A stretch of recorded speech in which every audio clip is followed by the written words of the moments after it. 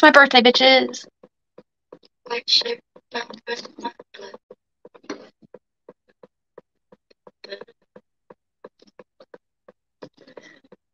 It's my birthday, bitches.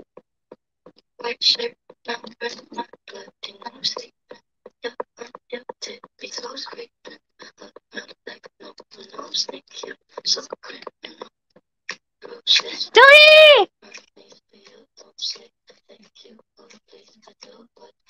Um, we're gonna go. I'm gonna go. And I don't know why, because I, we shouldn't be spending money because we got a lot going on. Uh, December 16th or 17th, uh, half the kids will be here. And then in June, the other half of the kids will be here. So that's exciting. So Mark's going to go across in, in December there after his COVID shot, pick up the girls, bring them back here. And then we've got our dates. But um, all I'll say is January, I will be in Savannah, uh, staying with Billy and the family for however long till they kick me out. But I've got about 11 days I can spend in Savannah. So um, we're doing that. And um, so tonight we'll do like that. I'm uh, I've been adding stuff to my wish list for the house. Like we need new pots and pans and and uh, should invest in a carpet shampoo or stuff like that. Because uh, I wish I could invite all y'all over and have like a real housewarming. I've never had a housewarming party before either, but that's what I'm gonna do. People want to call me a e-beggar. Those are the same people that are screaming and demanding and calling their followers bitches and demanding that they pay me now. we got a lot, you guys. We got three beds to buy, stuff to make dressers, nightstands. We got we got a lot going on, but it's gonna be so awesome with all of the kids here. It's gonna be so fun. Wait till you guys see. No more protesters there, no. But thank God they won't be there when I'm there because that would have been bad. Now I can just focus whatever in that time while I'm there that they need help on or help with. Um, I can do that. I can help them with whatever their needs are. I'm not sure. Somebody sent me this. People send me packages of things, and I don't, when I'm just laying around the house and stuff, I don't dress up. I don't use them. But there is sometimes I do enjoy. It's covering up Mr. Sher. Give me a hickey. I told him to give me a hickey. I just wanted to feel young today. And then I decided, you know what?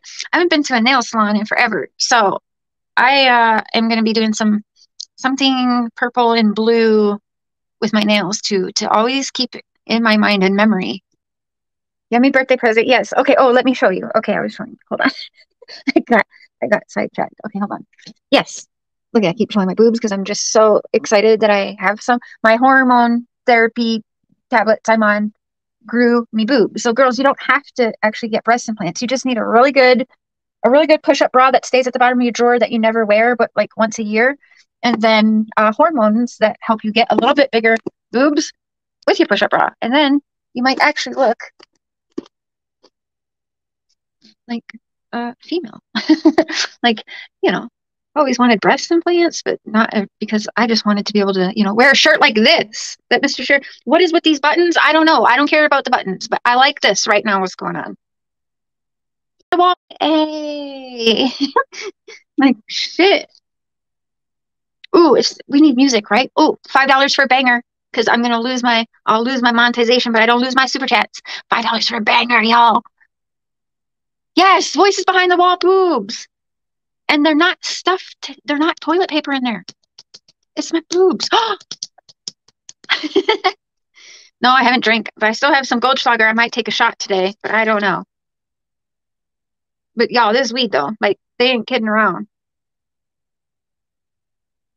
I, I wish i had a scale but i it's mm, it's good. It's good. It's good. It's good I grew my boobs with heart. well, and when you're healthy, as you guys know, with my teeth and everything, Angie. Know I'm 39 years old, which I never, never thought I would see. Thanks for the weed, Dad. good shit.